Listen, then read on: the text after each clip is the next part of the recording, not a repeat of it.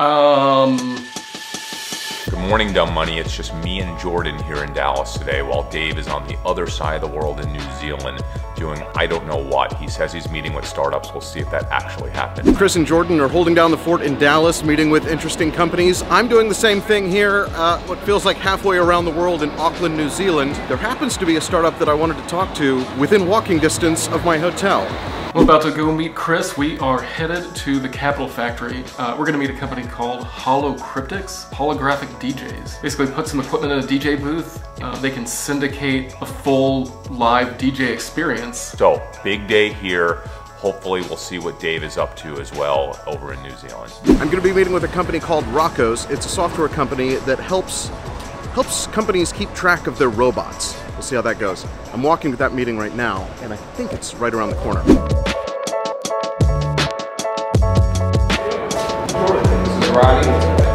Chris Camillo, good to meet you, buddy.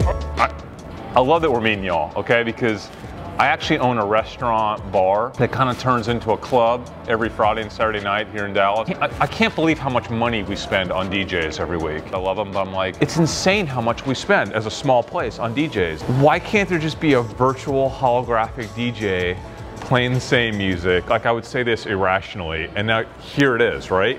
Is that basically what you guys are, right? You guys are.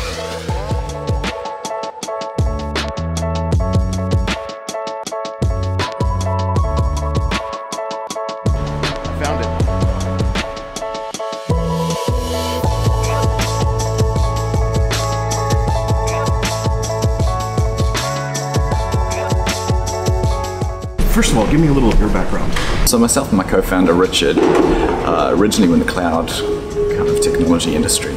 We've kind of built companies that built really big, large, resilient, scalable cloud systems. During that tinkering, it was really a question of, as cloud architects, the first thing you want to do with your robot is connect it to the cloud and start controlling it, Yeah. debugging, moving it, those kinds of things. What we found was it was very hard. It was very hard to do that. There was a lot of technology barriers. You needed a lot of expertise to connect robotics up to cloud. And the question for us really long term was, was this going to be a problem? And so we said, look, in the next, you know, what we think is three to five year horizon, they will need to have a centralized system to connect to them and manage them. if your, your customer is a robotics company that has a fleet, how do you how do you draw that line as, as Yeah. to what you do and what they're going to have Yeah. to develop on their own? Um, and we see now there's a wave of robotics companies that really want to uh, concentrate their effort on their uniqueness rather than the generic components. Yeah.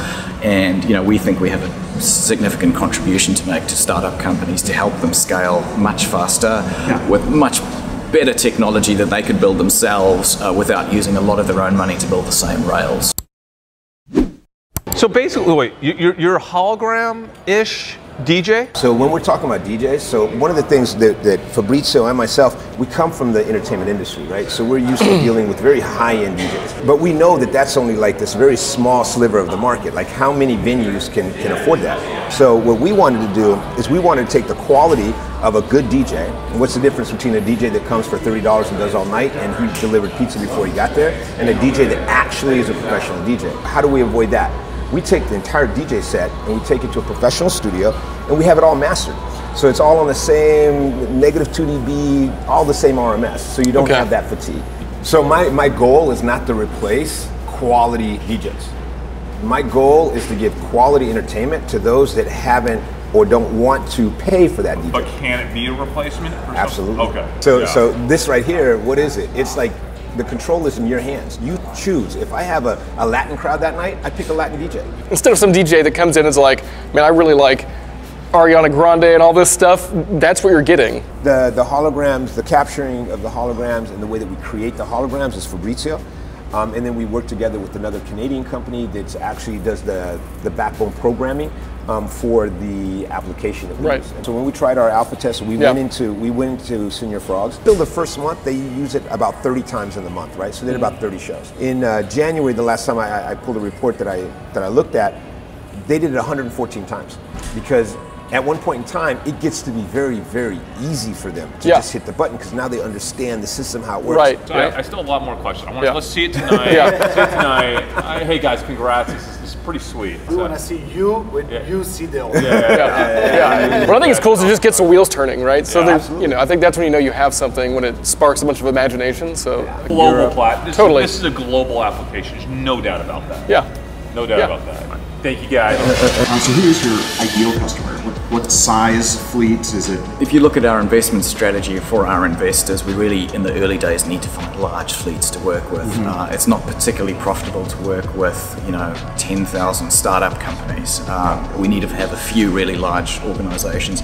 I'm not familiar with startup, you know, the whole scene in New Zealand. Is it is it kind of the way I'm used to, where you are involved maybe in an accelerator program, then you have a Series Seed and A, B, C? It- Yeah. does it work the same here? It does, it does, but probably a smaller scale from what you're used to in the Valley. I think, um, firstly, money goes a lot further in New Zealand in terms of access to resources and support. Uh, there's a lot of research and development grants available from the government and those types of things. robotics and AI world are, are things that me and my partners are so obsessed with right now. So um, to have the chance to, you know, halfway around the world, or at least what feels like it, uh, to be able to meet with a company, it's it's great. Keep us in touch as, as you progress and, and move towards that Series A. Sounds good. I'm so glad I took that meeting. That is fascinating.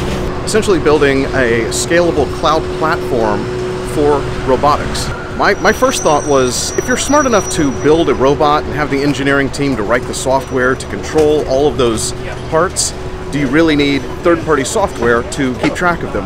There was a time when everyone thought they needed their own server, and quickly you realize that Amazon or Google does it way better than you can with a you know server in the closet that you keep under lock and key. They're betting on the robotics industry experiencing the same thing. So the hologram DJ Yeah.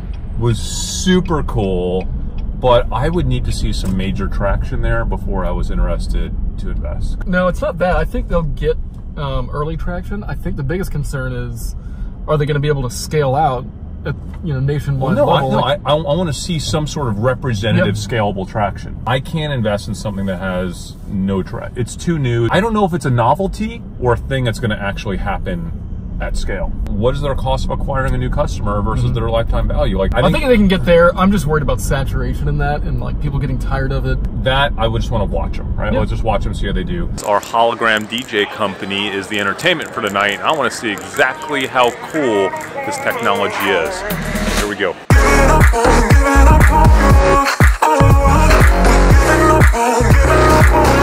This looks so cool.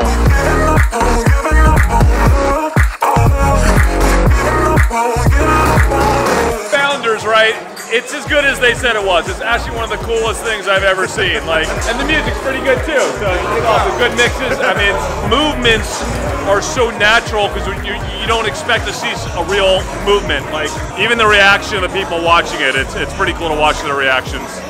That's going to do it from here in New Zealand. As always, living up to the. That's going to do it from here in New Zealand. As always, living up to the dumb mon.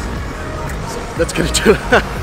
That's going to do it from here in New Zealand. As always, living up to the dumb money motto of always looking for interesting investment opportunities. I'm Dave Hanson.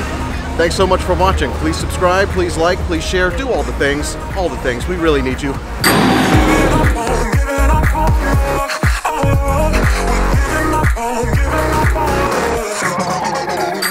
I'm in New Zealand, and what better place to continue the search for the next great startup investment?